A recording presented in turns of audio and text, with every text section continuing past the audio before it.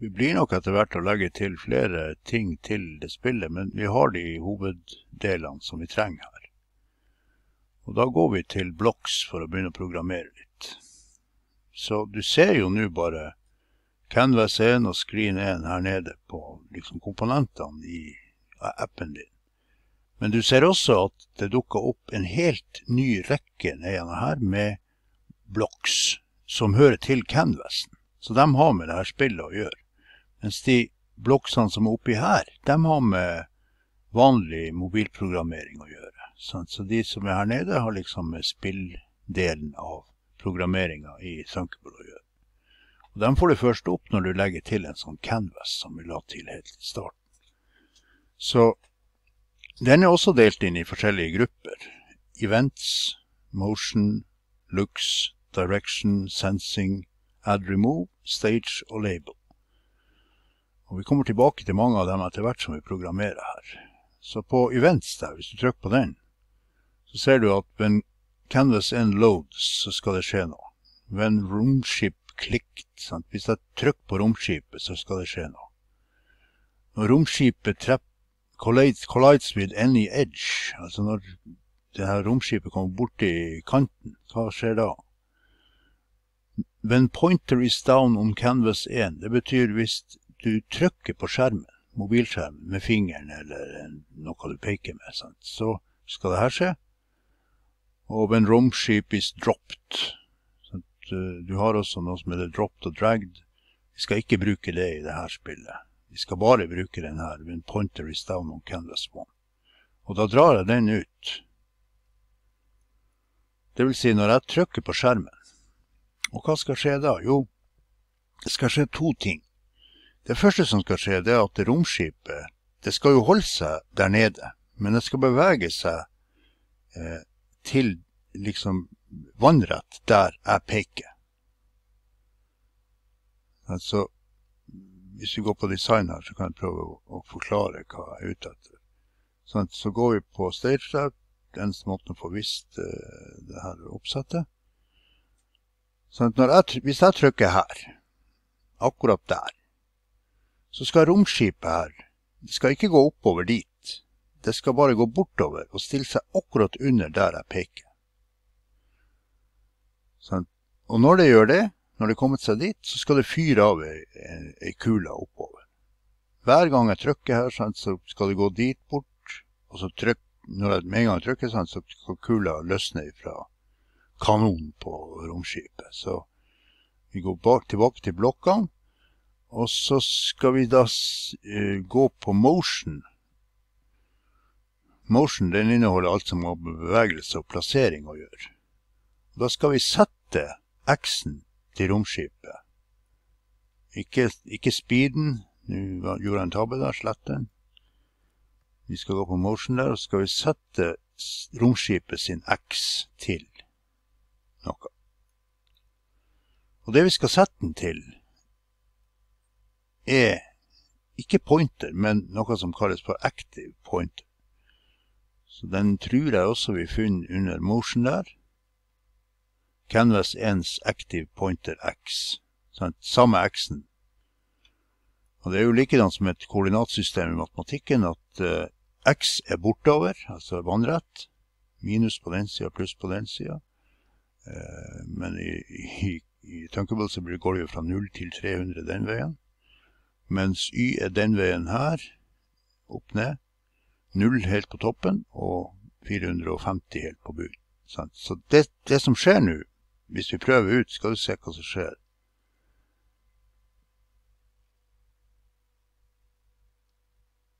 Når jeg trykker her, så spretter romskipet til rett under der hvor jeg peker. Jeg trykker på, på skjermen, og så fer romskipet dit som jeg trykker. Vannrett. Men så skal det også fyre av en rakett. Hvis jeg skal kunne fyre av en rakett, så må jeg først plassere den raketten akkurat der romskipet er. Så først tar jeg ut av add remove. Så skal jeg legge til en sprite til skjermen. Hvis du husker fra i sted, så husker du kanskje at jeg la ikke til noe laser på skjermen. Altså, det, var ikke noe, det var ikke noe greier der på skjermen. Så jeg tar istedenfor create romskip, jeg skal ikke lage noe romskip, jeg skal lage en laser på en bestemt plass på skjermen. Og den skal stå akkurat der skipet er, XY. Eh, og da vil den havne bak skipet, akkurat midt inni skipet der. Så jeg må gå på motion igjen, og så må jeg gå på spaceships X på den første her. Så dupliserer jeg den der, og så tar jeg bare putten inn der, og så sier jeg spaceships Y. Så når den der blir lagd, akkurat når den blir lagd, så får den navnet Component. Og, den kan jeg bruke videre inni den lille løkka her. Så når den er laga, den laseren, så skal jeg få den til å gå rett oppover. Og det, eh, da må jeg sette farta på den. Så jeg går på motion igjen, og så setter jeg Drar den ut, setter Spaceships X-speed. Men det er, ikke, det er ikke spaceship vi skal bruke, vi skal bruke denne komponenten. Vi drar den inn der. Og det er ikke X-speed vi skal ha, vi skal ha Y-speed, vi skal ha speed oppover. Og for at den skal gå oppover istedenfor nedover, så må du ha et negativt tall inni her. Y-en må bli mindre og mindre etter hvert som du går oppover. Så eh, en passende fart på den der kula kan være minus 50. Så kan vi teste ut her.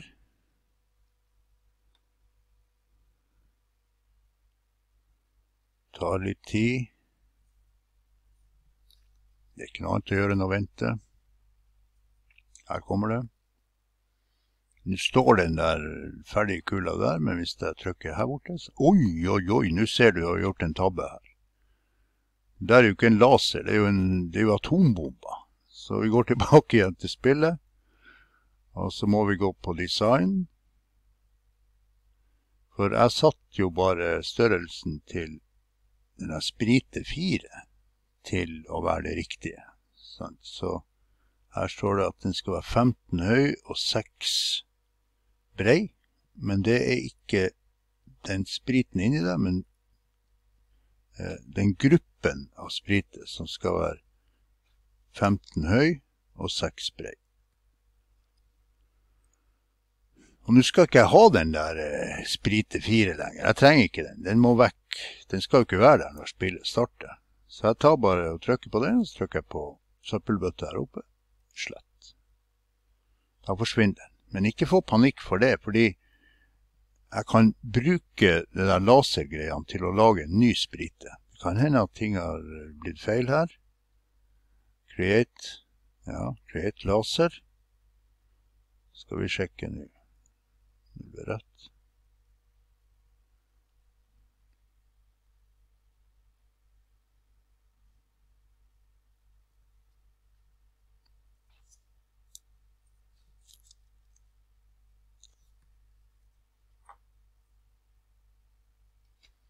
Jeg kommer spille opp, laseren på skjermen er borte, men når jeg trykker der, så kommer det en laser som fær oppover.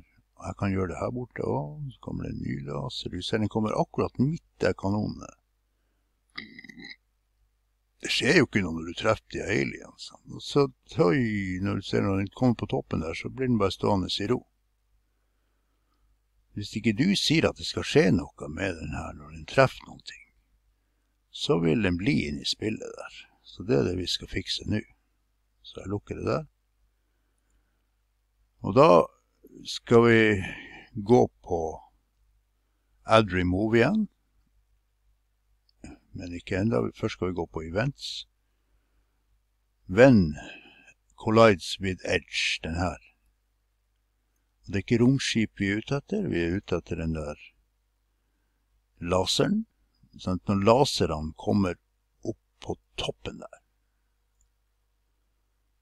da får de navnet Sprit i dette tilfellet. Og da skal vi fjerne den. Sant? Når den kommer helt opp på toppen, så skal den bare bli borte. Da går du på Add Remove, og så tar du Remove. Den drar du ut der. Og det er ikke Spaceship som skal bli borte, men Sprite. Og her trenger du ikke å høyreklikke og duplisere når du har de her komponentene og Sprite. Du kan bare trekke den der ut, så får du en ny, og så putter du den inn der. Vi ser om det virker.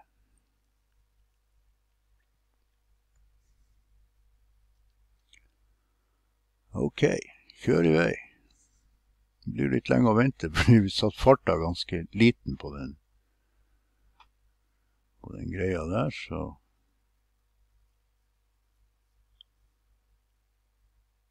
Nå ser du at den ble borte når den kom på toppen. Så jeg skal ta og sette denne speeden litt høyere. Altså, vi setter den til 200, minus 200. Så kan du se at eh, kula får en litt annen fart her. Men der må du tilpasse etter sånn som du vil ha spillet til å være. sånn. Nå ser du at kula får ganske stor fart opp. Og siden det jeg programmerte der, gjelder alle, alle de her laserne, som er liksom barna til den der morlaseren som er lasergruppen, så vil alle lasere som kommer opp på toppen der, de vil bli borte. Ok, da kan det være interessant å, å få dem til å ta livet av de aliensene når eh, vi treffer dem. Sant? Så det neste vi skal gjøre, det er det. Så vi har en sånn der collide speed, top, bottom eller all ages. Men du har også en som går på når to forskjellige sprites kolliderer med hverandre. Og den har du der. Så den drar vi ut ved en laser. Collides with Når den kolliderer med eh, Alien 1, da skal vi fjerne begge to. Så da tar vi bare og dupliserer den her der oppe. Remove. Men så ser du at det ble feil, for den skal ikke hete Sprite, den skal hete Collide 1. Altså den første som blir kollidert dvs. Si laseren, blir borte når du tar den kommandoen.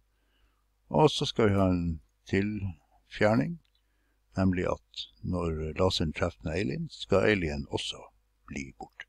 Så du må ha Collide 1, Collide 2 der. Og det trenger vi jo egentlig for Alien 2 og 3, sant? for her er bare Alien 1, så vi dupliserer denne blokka, og så legger vi til at ok, hvis uh, den treffer en av de Alien to typene, denne laseren, så skal begge bli borte. Ok.